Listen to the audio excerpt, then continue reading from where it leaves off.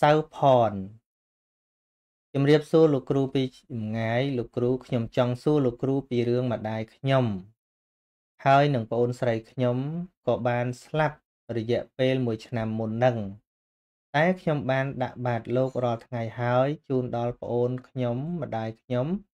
ពេលយប់ដែលខ្ញុំឧទ្ទិសជូនគាត់ប្អូនស្រីខ្ញុំជួយម្ដាយខ្ញុំ តើកុសលផលនឹងបានដល់ម្ដាយនិងប្អូនខ្ញុំឬអត់លោកគ្រូអឺគ្មាននរណាអះអាង ដឹងថាដល់ឬមិនដល់ទេអញ្ចឹងណាมันមានការអះអាងទេប៉ុន្តែវាជាកិច្ចដែលយើងគួរធ្វើពីព្រោះការចែកឋានហើយមិនមែនជាភពភូមិឋានដែលអាចតាក់ទងគ្នាបាន អាចឲ្យដោយដៃបានអត់ទេបើ យើងយកទៅសែនយកទៅអីចោលហ្នឹងក៏វាជារបស់អត់ប្រយោជន៍អញ្ចឹងសំខាន់គឺថាយើងបានធ្វើទានចំពោះភិក្ខុសង្ឃម៉ែឪយើងមិនបានឆ្អែតប៉ុន្តែកុំភ្លេចថាយើងដាក់ទៅលោកឆ្អែតអាហ្នឹងជាអំពើប្រយោជន៍របស់យើងមិនអត់ប្រយោជន៍ឯណាមិនថាទល់តែម៉ែឪយើងបានមិនអោយលោកឆាន់បើម៉ែឪមិនបានយើងមិនអោយលោកឆាន់អាហ្នឹងអាហ្នឹងវាមិនមែនជាការជ្រះថ្លាអីទេ បំណងដែលព្រះសម្មាសម្ពុទ្ធសម្ដែងពីតក្ខណានុបទានហ្នឹងគឺកុំអោយរបស់ដែលយើងឲ្យហ្នឹងវាអត់ប្រយោជន៍បើថាឲ្យឲ្យមានអ្នកឆ្អែតអញ្ចឹងណាគឺវាពាក់ព័ន្ធនឹងការឲ្យឲ្យនឹងមិនមែនឲ្យអ្នកស្លាប់ទេគឺឲ្យអ្នករស់ឲ្យអ្នករស់នឹងដើម្បីអីឲ្យអ្នករស់នឹងបានឆ្អែតអញ្ចឹងអាហ្នឹងដែលព្រះអង្គថាអ្នកឲ្យទៀនវាមិនអត់ផលឯណាវាមានអស់ទៅទេណាឲ្យទៅបានអ្នកទទួលឆ្អែតហើយតានឹងអញ្ចឹងហើយ វាជាការចម្រើនកុសលរបស់យើង ផ្នែកការឲ្យទៀននឹងផងហើយនឹងការនឹករលឹកគុណដល់ម្ដាយយើងនឹងទៀតផងកុសលពីរតង់ឃើញទេយើងឲ្យទានចំពោះភិក្ខុសង្ឃដោយការជ្រះថ្លាដោយការបរិច្ចាគទានវាជាទានអ្នកមយៈបុណ្យផងមិនចំពោះតែប្រសង្ឃទេឬក៏អ្នកមានសាលេណានីមួយដែលគួរឲ្យចឹងទៅមនុស្សល្អល្អដែលយើងឲ្យហ្នឹងនឹងនឹកដល់អ្នកស្លាប់ហ្នឹងហ្នឹងហើយវាកើត កុសលដែលកើតពីទានអ្នកមយៈបុណ្យហើយយើងបានកុសលនឹងឯងដើម្បីឧទ្ទិសជូនចំពោះអ្នកដែលស្លាប់ហ្នឹងដល់ពេលយើងនឹកឧទ្ទិសជូនចំពោះអ្នកស្លាប់យកអំពើល្អហ្នឹងយកទៅឧទ្ទិសឲ្យគាត់ហ្នឹងវាសម្រេចទៅជាមេត្តាធម៌មួយទៀតវាទៅជាការផ្សព្វផ្សាយមេត្តាធម៌ផង ការបណ្ដុះនៅភាពកតញ្ញូនៅក្នុងចិត្តរស់នឹករលឹកចំពោះអ្នកម្ដាយយើងផងឃើញទេ វានៅតែកុសលក្នុងចិត្តយើងដដែលដែលយើងដឹងច្បាស់គឺដឹងអាហ្នឹងតែរឿងគាត់ទទួលបានទទួលមិនបានគ្មានអ្នកណាទៅអាកាត់បានទេមានទេនឹងចឹងតែកិច្ចហ្នឹងគួរធ្វើវាល្អជាងក្រណយោទៅសែនឯណាឯណីអត់មានអ្នកទទួលអត់មានអ្នកបានសេចក្តីសុខដោយសារយើងអត់អឺកំណាបពីដើមដូចរបស់បណ្ឌិតអ៊ូចុងហ្នឹងឯងដែលខ្ញុំចាំអី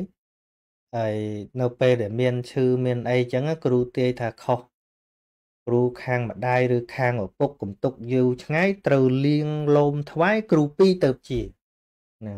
គ្រូ2ទៅជាគ្រូ2ហ្នឹងគឺខាងឪពុកខាងម្ដាយហ្នឹងហើយហើយគ្រូទាយត្រូវណាស់កូនស្ដាប់មិនច្បាស់បែរទៅវន្ទាអាទេព្រះលបសាអាដុំថ្មអរិយទេព្រះលបសាម៉ែឪអាត្មាមិនថ្វាយបង្គំទេណាគេថាខុសគ្រូខាងនេះខុសគ្រូខាងនោះស្ដាប់វាមិនតាន់ ចឹងទៅទៅណោះទៅថ្វាយអង្គមបែបនតាក្នុងព្រៃនោះទៅម៉ែឪអាត្មានោះដែលដែលគួរគោរពបូជានេះអត់បានធ្វើទៅវិញចាស់ចាស់មិនមែនតែចាស់អត់គំនិតណាចាស់ព្រឹទ្ធាចារក៏ណែនាំល្អល្អណាពីដើមមកតែយើងតាមនឹងតាមតែចាស់អត់រៀនហ្នឹងតែតែទៅទៅសែនព្រេនចោលលើ ក្បាលអ្នកតាក្បាលអរិយហ្នឹងតាមចាស់អត់រៀនហើយឃើញទេ គឺចាស់រៀនរបស់យើង ចាស់អ្នកប្រាជ្ញរបស់យើង ពីមុនពីមុនមកដែលលោកបដែបដៅឃើញទេ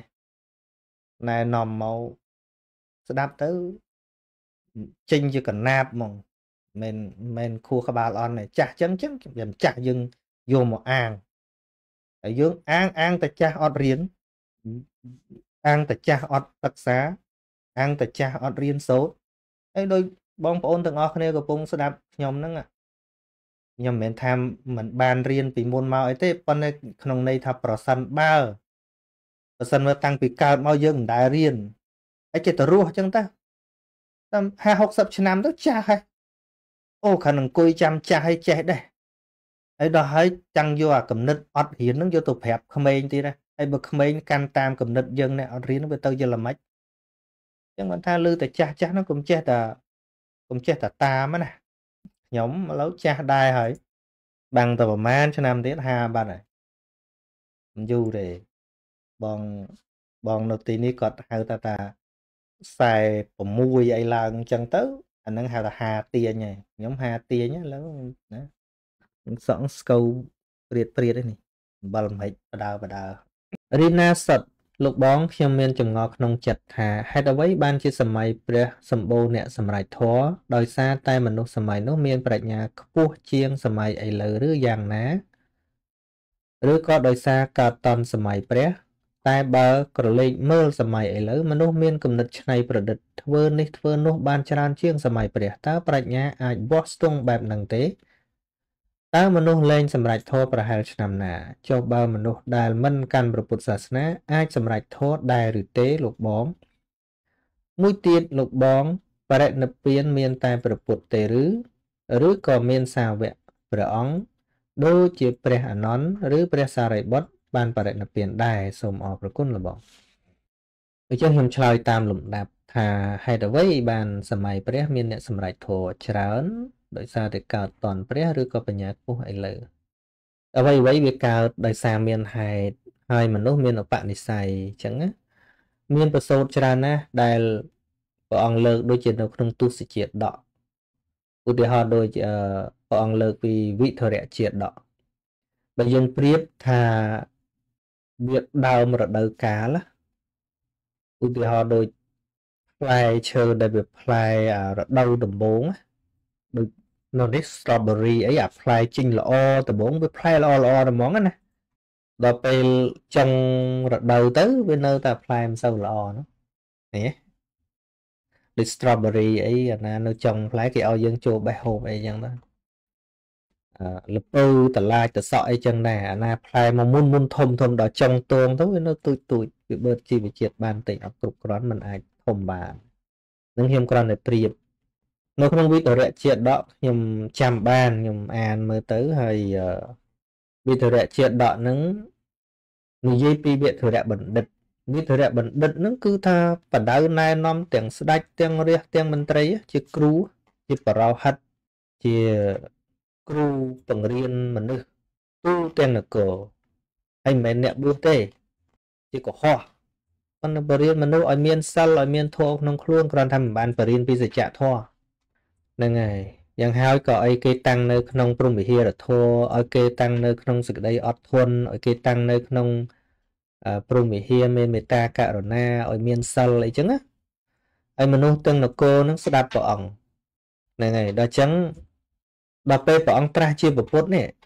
ហើយព្រះអង្គគង់សម្ដែងធម៌នៅកណ្ដាលបរិស័ទហើយព្រះអង្គលើករឿងហ្នឹងលើករឿងវិធរៈជាដកហ្នឹងព្រះអង្គប្រជុំជាដកមានន័យថាសជាតិគេហៅថាអា ពាក្យសជាតិឲ្យឃើញថាស្ដេចដែលស្ដាប់កាលហ្នឹងវិធរៈហ្នឹងជាទីប្រឹក្សាជាន់ខ្ពស់របស់ស្ដេចតែស្ដេចហ្នឹងបានមកជាអនន្តគេនេះគឺសុទ្ធតែមានឧបនិស្ស័យជាមួយគ្នាមកអញ្ចឹងស្ដេចមកជាអនន្តរីឯពជារាជនៅក្នុងនគរដែលតាំងនៅក្នុងអវាទជាសិស្សរបស់វិធរៈបណ្ឌិតកាលនោះ គឺបានមកជាពជារាជនេះកំពុងអង្គុយស្ដាប់តថាគតឥឡូវនេះឯងរីឯវិធរៈបណ្ឌិតនោះ គឺអង្គអញតថាគតនេះឯងអង្គថាអញ្ចឹងគឺវាមានហេតុទេមិនក៏ជួបព្រះងាយសម្រេចម៉េះថាគេធ្លាប់សិស្សព្រះអង្គយូរហើយគេធ្លាប់ស្ដាប់ព្រះអង្គយូរហើយទី1មាននិស័យជាមួយបុគ្គលផ្ទាល់ទី2ធ្លាប់សន្សំការចេះដឹងជាមួយព្រះអង្គនឹងដែលព្រះអង្គបរៀននៅជាតិមុនមុនហ្នឹងគេរៀនតែអញ្ចឹង គេចូលចិត្តរៀនគេចូលចិត្តស្ដាប់សន្សំបនិស័យចេះដឹងអញ្ចឹងណាអញ្ចឹងឧបនិស្ស័យវាច្រើនមកច្រើនមកអញ្ចឹងមកជួបព្រះអង្គទៅព្រះអង្គនិយាយពីសច្ចធម៌ហ្នឹងវាឆាប់ចាប់បានវាឆាប់សម្រេចណាក្នុងន័យអញ្ចឹងហើយយើងកាលនោះមិនដឹងស្អីនឹងនៅឯណាអាឡ័យដើរប្រឆាំងព្រះក៏មិនដឹងអញ្ចឹងវាស្វឹងមួយអារឿងចេះហ្នឹងណាហើយព្រះសម្មាសម្ពុទ្ធកាលនោះមានតនពុទ្ធណាគ្រាន់តែជាគ្រូបង្រៀន ជាបណ្ឌិតមួយបរៀនគេបរៀនឯងនៅក្នុងនគរអញ្ចឹងទៅហើយយើងឯណាទៅដឹងថានៅនឹងនឹងខ្លាយជាពុទ្ធណាទៅឆ្លោះមួយពពុទ្ធអឺជាមួយពពោរិស័ទចឹងទៅទីបំផុតបានមកជាស្អីបានមកជាទេវទត្តបានមកជាចេញចាបានមកជាស្អីនោះហើយចេញចាក៏ដោយអឺដូចពីមុនពពុទ្ធសោចសោយបជាតិជាពវេសណ្ដចឹងទេវទត្តនោះជជក់ចឹងទៅនាងអមិតធីតានោះ កាលនោះបានមកជានាងចេញចាអញ្ចឹងវាមានហេតុចឹងមកមិនមែនឆ្លោះគ្នាមួយជាតិឲ្យចប់ទេណាមនុស្សយើងណាចឹងបានកុំខែងរែងប្រើតែអំពើអាក្រក់ទៅលើគេនឹងពេកគេលោវាមិនបាននិស័យជាសាវកពុទ្ធវាទៅតែតួអង្គប្រឆាំងទៅនឹងបានល្បីដូចចេញចាល្បីដូច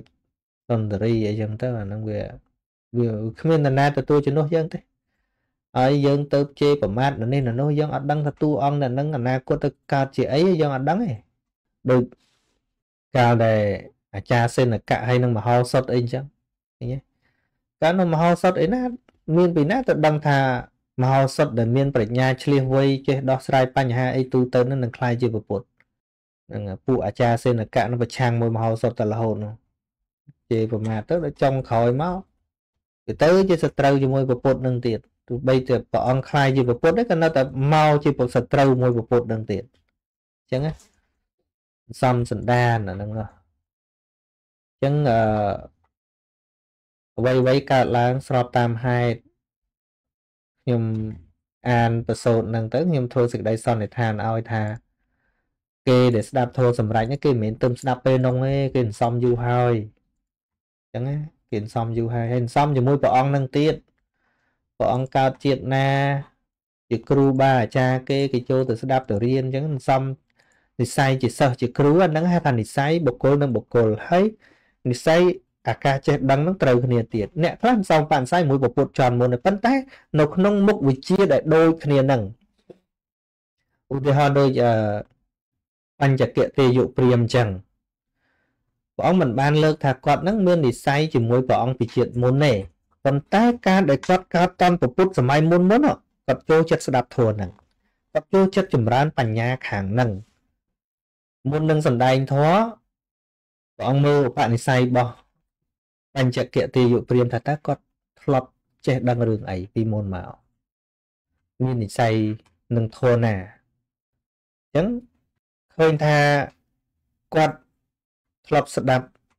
ពីពាក្យថានាមរូបមិនទៀងនាមរូបនឹងជាទុក្ខនាមរូបនឹងជាអនត្តាអញ្ចឹងណា ស្ដាប់ស្ដាប់អានឹងតាំងពុទ្ធសម័យមុនមុនមកអញ្ចឹងពាក្យថាឧបនិស្ស័យមានពីមួយឧបនិស្ស័យបុគ្គលនិងបុគ្គលមួយទៀតជាឧបនិស្ស័យចំណេះដឹងដែលធ្លាប់សន្សំហើយដល់ពុទ្ធព្រះអង្គឃើញនៅនឹងចេះខាងហ្នឹងព្រះអង្គលើកយកធម៌មកសម្ដែងចំអាស្អីគាត់ចេះហ្នឹងតែព្រះអង្គសម្ដែងគាថាមួយសម្បសោនិមរូបាស្មឹងយសនថៃមមេយតាំងអសតាចនសោយតេសវេវិខោទវិជតេហ្នឹងហើយដែលមានន័យថា សេចក្តីប្រកាន់ដោយសពគ្រប់នៅក្នុងនាមរូបនាមរូបគឺបញ្ញខណ្ឌមិញហ្នឹងគឺរូបហើយនឹងនាមហ្នឹងมันមានដល់បុគ្គលណាម្យ៉ាងទៀតបុគ្គលណានៅពេលដែលអានាមរូបហ្នឹងវាវិនិច្ឆ័យទៅវារលត់ទៅវាប្រត់ប្រាស់ទៅហើយมันសោកសៅទេឃើញថាវាវាកើតក៏ធម្មតាពេលវិនិច្ឆ័យទៅវិញក៏ធម្មតាដែរឃើញអញ្ចឹងសវេភិក្ខុទៅវិជ្ជតេបុគ្គលនោះតថាគតហៅថាភិក្ខុអញ្ចឹងណាគាត់ ដូចដាស់អាមេរៀនដែលគាត់សិក្សាក្នុងសង្សារវត្តមកទាំងអស់អញ្ចឹងព្រឹបសម្រាប់ដល់អនាគាហ្នឹងវាមិនមែនឯងឯងនឹងជួបព្រះសម្រាប់ជួបព្រះសម្រាប់ជួបព្រះសម្រាប់ចេញចាសម្រាប់បាត់ហើយមនុស្សមកកគុកជួបពុទ្ធអត់សម្រាប់ពីព្រោះអីខ្វះឧបនិស្ស័យច្រើនពីមុនមកហើយបដិសន្ធិមកវាខ្វះបញ្ញាអីចឹងទៅឬក៏ទល់តែកើតតនសម័យឲ្យតែមានឧបនិស្ស័យគ្រប់ធននៅមានវាគង់តែបានសម្រេចដូចតែគ្នាប៉ុ ន្តែសំខាន់យើងឧបនិស្ស័យវាអត់គ្រប់តែបើក្រឡេកមើលសម័យបច្ចុប្បន្នមានគំនិតច្នៃប្រឌិតច្រើនជាងសម័យព្រះទៅទៀតអ្នកដែលមានឥន្ទ្រីចាស់ខ្លាវាត្រូវមានឥន្ទ្រីចាស់ខ្លា5មានសទ្ធាមានវិរិយៈព្យាយាមសតិសមាធិបញ្ញាខ្លាំងនៅក្នុងអានឹងប៉ុន្តែយើងមើលសម័យឥឡូវមនុស្សឆ្លាតប៉ុន្តែមានសទ្ធាខ្លាំងអត់អត់ទេ មនុស្សឆ្លាតប៉ុន្តែមានសមាធិដែលជាចិត្តចិញ្ចាកិលេសអត់អត់ទេការស្យងរបស់មនុស្សសម័យនេះមិនមែនស្យងចិញ្ចាកិលេសគឺស្យងបង្កើនកិលេសមែនទេស្យងឲ្យកើតជាឧបករណ៍ស្អីមួយបង្កើតស្អីមួយគឺបង្កើតកិលេសទាំងអស់បើសមាធិដែលជាកម្លាំងនាំទៅរកការត្រាស់ដឹងគឺចេញចាក់កិលេសផ្សេងគ្នា អញ្ចឹងផ្លូវផ្សេងគ្នាទោះបីឆ្លាតប៉ុណ្ណាក៏សម័យធម៌រួចដែរហើយនេះសំបីតែសម័យពុទ្ធនឹងក៏ដោយឆ្លាតប៉ុណ្ណាក៏ដោយតែដាក់ផ្លូវខុសហើយចេញចាក់ពីលោកនេះរួចហើយឧទាហរណ៍ដូចជាឧរវេលកសបៈឬក៏សរិបុត្រឆ្លាតតាំងពីកំណើតឆ្លាតប៉ុន្តែតើអត់ដើរតាមមេគាត្រាស់ដឹងនៅតែត្រាស់ដឹងអត់រួចសរិបុត្រមកកលៀនមិនមែនភ្លាមមកជួបពុទ្ធតែម្ដងណាសរិបុត្រមកកលៀន ទៅដើររធនយូរហើយទៅជួបអាចារ្យសិញ្ជ័យរៀនជាមួយអាចារ្យសិញ្ជ័យរៀនអំផ្លេតចប់អស់អត់មានអីរៀនទៀតទេឆ្លាតដល់ចឹងវាខ្សោះអត់អីតែរកការត្រាស់ដឹងអត់ឃើញទេដល់ចឹងទៅក៏ដាក់ណាត់ដារោពីអ្នកមិត្តភ័ក្ដិហ្នឹងកាលនៅមុនហ្នឹងឈ្មោះទេសៈហើយមកលៀនឈ្មោះដូចជាកោលិតៈតែឈ្មោះមកលៀនហ្នឹងហើយនឹងសារីបុត្រហ្នឹងហៅតាមឈ្មោះម្ដាយលោកទេ សារីបុត្រប្រែថាកូនរបស់នាងសារីហើយមកលៀនហ្នឹងកូននាងមកលីតែឈ្មោះពិតរបស់លោកនោះសារីបុត្រឈ្មោះទេសៈទេហើយមកលៀនដូចឈ្មោះកោលអឺខ្ញុំចង់ភ្លេចឈ្មោះដើមរបស់មកលៀនដូចកោលិតៈអីហ្នឹងខ្ញុំច្រឡំអញ្ចឹងសួរតែឆ្លាតហ្នឹងបើខ្វះគន្លឹះនៃការត្រាស់ដឹងប្រាប់លោកឃើញឃើញធោអត់ទេអញ្ចឹងឆ្លើយទៅសំណួរថានេះតែ ឆ្លាតអឺចុះបើមិនកាន់ពុទ្ធសាសនាខ្ញុំមិនចង់និយាយថាកាន់ឬមិនកាន់ទេកាន់កាន់ឲ្យទៅកាន់ទម្រង់ដូចយើងកាន់មិនកាន់ឲ្យទៅក៏ប៉ុន្តែ បើមិនមាន instruction ពីអ្នកត្រាស់ដឹងទេมันអាចសម្រេចធម៌នឹងបានទេអាហ្នឹងគឺគឺដាច់ខាតតែម្ដងហើយអាចបានដែរបើបុគ្គលនោះសន្សំឧបនិស្ស័យដើម្បីត្រាស់ដឹងខ្លួនឯងជាបច្ចេកពុទ្ធឬក៏ព្រះសម្មាសម្ពុទ្ធអាហ្នឹងអាហ្នឹងទៅចឹងហ្មងទៅ តែត្រូវសំបារមីយ៉ាងហោចពីអសង្ខ័យមួយសែនកម្មដើម្បីបានជាបច្ចេកពុទ្ធហើយយ៉ាងហោច4អសង្ខ័យមួយសែនកម្មឲ្យទៅជាពុទ្ធអាហ្នឹងទៅខ្លួនឯងទៅមិនបាច់ស្ដាប់ពីណាទេតែក្រៅពីបុគ្គលពីរពួកនេះដាច់ខាតត្រូវតែមាន instruction ពីអ្នកត្រាស់ដឹងពីព្រោះវាតេក្នុងលោកនេះក្រៅពីពុទ្ធសិតតយោអាទិទេពលើមេឃទាំងអស់អត់មានទេឲ្យតែបែបលក្ខណៈសាសនាគឺមានតែមេគាត្រាស់ដឹងមួយទេដែលមេគាមនុស្សមេគាមនុស្សអ្នកដឹកនាំទេវតាវិញ អ្នកដឹកនាំមនុស្សដឹកនាំទេវតាវិញគឺមាគាប្រពន្ធនេះឯងទេសៈនិងកោលិតៈបាទអញ្ចឹងយើងមើលភាពឆ្លាតរបស់មនុស្សសម័យឥឡូវតើឆ្លាត ក្នុងការត្រេះរិះចិញ្ចាកពីកិលេសឬក៏ឆ្លាត ក្នុងការផ្គុំកិលេសយើងឆ្លាតប៉ុណ្ណាក៏ដោយសូម្បីតែ បារមីបានមួយសែនកាត់ក៏ដោយមិនបាន កੁੰលឹះមិនបានការសែបគប់ត្រូវទេចិញ្ចាក់ ទុកអត់រួចទេมันអាចសម្រេចធ្វើទេហ្នឹងហើយគឺត្រូវបន្តខ្លួនឯងរាប់អសង្ខ័យទៀតហើយសំណួរចុងក្រោយព្រះបរិណិព្វានមានតែប្រពុតឬក៏ភាសាវេដតេបរិណិព្វានយើងអាចនិយាយសម្រាប់ព្រះរហន្តបានគ្រប់អង្គព្រះអនន្តព្រះកាសបៈអនិព្វានបរិណិព្វានមានន័យថានិព្វានដោយអត់មានសេះសល់មិនមែនសម្រាប់តែប្រពុតទេនិព្វានដោយអត់មានសេះសល់មានន័យថា អស់ទុករលីងអស់ខណ្ឌរលីងมันមានការសោយសុខសោយទុកអីនៅក្នុងโลกទៀតទេចឹងហៅថាបរិនិព្វានណាខុសពីនិព្វាននិព្វានយើងនិយាយពី objective ជាអារម្មណ៍របស់មគ្គចិត្តឬក៏ផលចិត្តមនុស្សអាចដល់និព្វានទាំងដែលនៅជីវិតទេมันអាចអស់ជីវិតទៅដល់និព្វានទេ ក៏ប៉ុន្តែបរិនិព្វានគឺយើងប្រើសម្រាប់ពេលលោក pass away ធំអឹមដូចខ្ញុំធំស្ដាប់នៅលបងនិយាយពីមច្ឆាទិដ្ឋិហើយធ្លាប់ឮលបងឧទាហរណ៍ពីមច្ឆាទិដ្ឋិហ្នឹងគឺការយល់ខុសទៅលើជំនឿចឹងហើយខ្ញុំចង់សួរលបងថាពាក្យធម្មចាទិដ្ឋិហ្នឹងតើយើងអាចយល់ខុសទៅលើបុគ្គលមួយឧទាហរណ៍ថាអឺ ជាបុគ្គលម្នាក់ដែលគាត់ធ្វើល្អទេប៉ុន្តែផ្លូវច្បាប់ដាក់ទោសគាត់មានមានសពគ្រប់ដែលជាផុសតាងថាដាក់ទោសគាត់ជា អ្នកទោសសម្រាប់មនុស្សឬក៏លួចគេ តែយើងទាំងអស់គ្នាដាក់ទោសថាគាត់បាន ជាចោរឬក៏ជាអ ுக ្រិតជនណាមួយអញ្ចឹងមានន័យថាគាត់ធ្វើល្អប៉ុន្តែគ្រាន់តែចែកដនគាត់ទៅជន់ដានរបស់គេស្រាប់តែគាត់ទទួលទោស អអញ្ចឹងការយល់ខុសរបស់យើងដែលយើងគិតថាគាត់ជាអុក្រិតជនមួយតើអាហ្នឹងគេឲ្យឈ្មោះថាជាមច្ឆាទិដ្ឋិឬក៏ជាទិដ្ឋិតទេឬក៏យ៉ាងម៉េចសូមលោកបងជួយមេត្តាពន្យល់អរគុណបាទអរគុណបើយើងនិយាយពីពាក្យថាទិដ្ឋិមច្ឆាទិដ្ឋិមួយម៉ាត់ហ្នឹងវាមានលំដាប់វាទិដ្ឋិខ្លះ អឺជាមច្ឆាទិដ្ឋិដែរតែអត់ហាមសួរឯអត់ហាមសុគតិភពឯទោះបីវាជាមច្ឆាទិដ្ឋិអឺដូចជាសកាយទិដ្ឋិសកាយទិដ្ឋិដែលខណៈយើងយល់ថាមានខ្លួនយើងមែនតើហ្នឹងណាណាអត់បាច់ទៅធ្វើបាបអីញ៉ៃញ៉ៃគ្រាន់តែយល់ថាមានខ្ញុំមានគេប៉ុណ្ណឹងសម្គាល់ថាមានមែនតែនជាអត្តាជាខ្លួន រូបជាខ្លួនវេទនាសញ្ញាសង្ខារវិញ្ញាណនឹងជាខ្លួនយើង ជាខ្លួនគេយល់អញ្ចឹងសំបីតែយើងទៅធ្វើបន់ណាថាខ្ញុំធ្វើបន់ខ្ញុំរសាសិលហ្នឹងកុសលកើតប៉ុន្តែគណៈយល់ថាខ្ញុំហ្នឹងមានមែនទេហ្នឹងក៏ជាសកាយទិដ្ឋិដែរ